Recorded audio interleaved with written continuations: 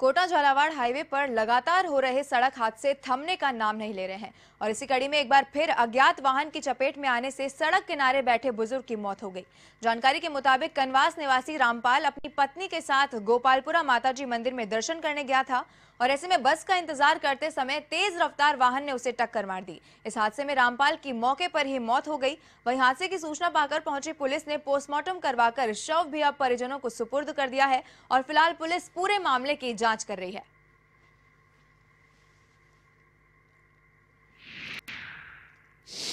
प्राचीन मंदिर है हज़ारों यात्री आते हैं गोपालपुर चौराहे पर शनिवार रविवार को न तो ब्रेकर है न अंडरपास दिए गए। हैं और प्रशासन की लापरवाही से यहाँ आज ही एक्सीडेंट हुआ और एक व्यक्ति मर गया। यहाँ पे या तो ब्रेकर बनाए। ब्रेकर बनाए जाए या फिर अगर अंडरपास की व्यवस्था हो तो अंडरपास।